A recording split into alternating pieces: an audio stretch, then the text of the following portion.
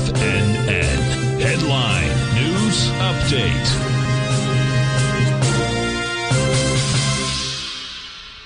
Good afternoon, everybody. I'm Tommy O'Brien, coming to you live from TFNN 3 p.m. Eastern Time on Wednesday. We got one hour left to go in trading, and you got markets with mixed action so far today. S&Ps we make an all-time high of 57.98 within almost one point of 5,800 in the futures. We're just off that price level, trading at 57.79, negative by 12 points on the session right now, or just more than one tenth percent in the red.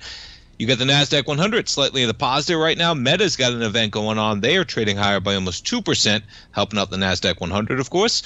You have other equities contributing. You get the Nasdaq 100 up by 25 points, 20,192. We make a high of 20,271 earlier. The Dow rolls over negative from 42,679 earlier today. We're negative by 400 points almost from that high earlier. You're off by two thirds percent at 42,313 in the Russell off by more than a percentage point right now. Bitcoin off $1,000, 63,420. You got crude back to $69.74, a 69 handle. We were up to 72.40 yesterday. And how about it? Crude trades $3 down to the lows of this afternoon, and we're negative by $1.82 or just about 2.5%. Gold makes a record high 26.94.90 in the overnight session. We get above 26.90 earlier today. We're trading right now positive by seven dollars on the session, about three tenths percent.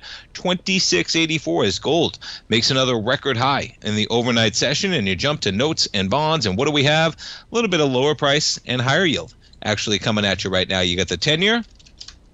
We're negative by nine ticks, but you can see the action, right? You you're not even at where you were yesterday. Just uh, quite the volatility in the 10 year recently. We're talking about a 10 year yield, 3.78, 3.78 percent. We're sitting on that 10 year. You jump over to the dollar index, DXY. You talk about a bid. I was doing the program this morning, nine o'clock. We're at 100.30. Kaboom!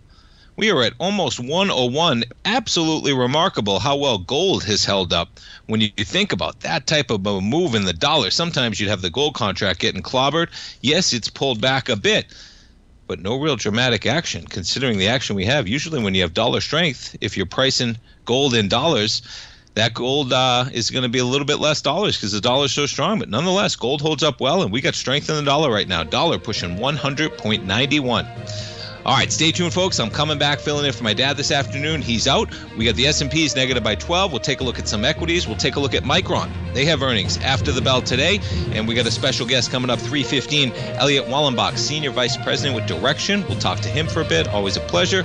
Uh, stay tuned, folks. We're coming back. S&Ps off by 12. I'll be right back.